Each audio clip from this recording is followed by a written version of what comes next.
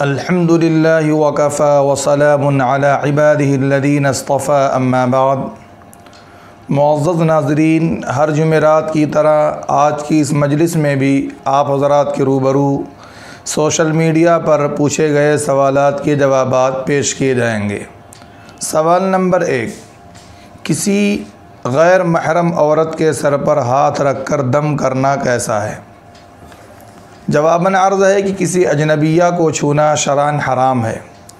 हुजूर अकरम सल्लल्लाहु अलैहि वसल्लम ने कभी भी किसी औरत को हाथ नहीं लगाया। हती कि हुजूर अकरम सल्लल्लाहु अलैहि वसल्लम ने बैत के वक्त भी किसी औरत को हाथ नहीं लगाया और न किसी औरत का हाथ अपने हाथ में लिया। लिहाजा किसी गैर महरम औरत को छूना और उसके सर पर हाथ रख कर दम करना ये शरान नाजायज़ और हराम है।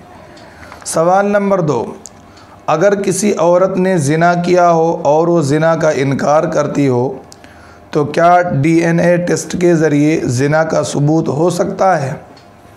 जितने भी मोतबर इदारे और मोतबर दारुलफ्ता हैं, सबका यही फतवा है कि डीएनए का जना के सबूत के सिलसिले में कोई एतबार नहीं है।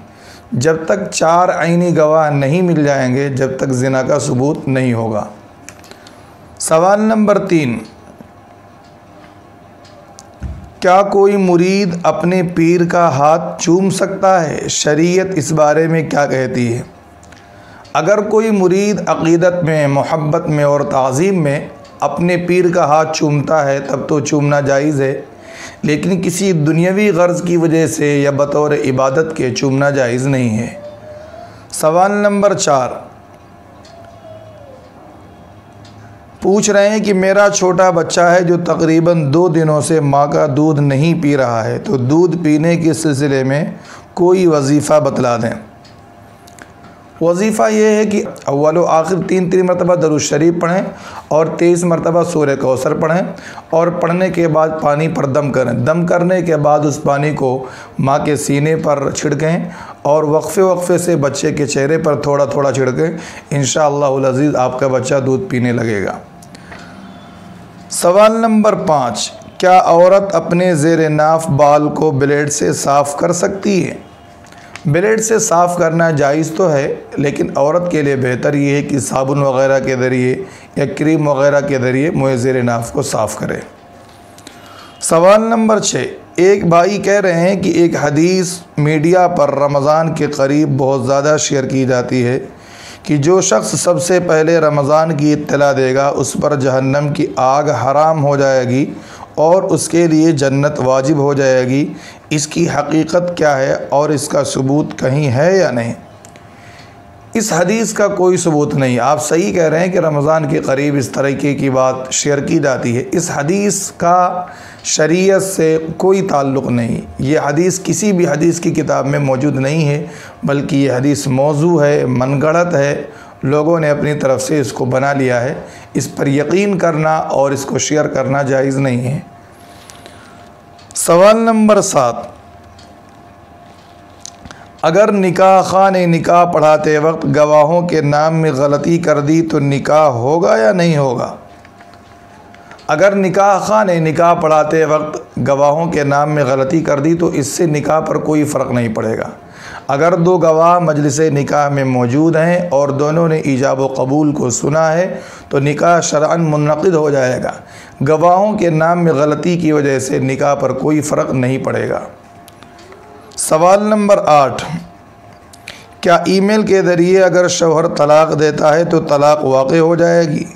जी हाँ जिस तरीके से ज़बानी तौर पर तलाक़ देने से तलाक़ वाक़ हो जाती है, इसी तरीके से व्हाट्सएप मैसेज के ज़रिए या ईमेल के ज़रिए अगर कोई तलाक़ देता है तो भी तलाक़ पड़ जाएगी। सवाल नंबर नौ। एक भाई कह रहे हैं कि एक ख़ातून हैं, जिनकी उम्र साठ से ज़्यादा है, उनके शोहर का इंतकाल हो गया है तो क्या इतनी उम्र वाली औरत पर भी इद्दत वफ़ात गुजारना लाजिम है? जी हाँ इद्दत वफ़ात गुजारना इन ख़ातून पर भी लाजिम है।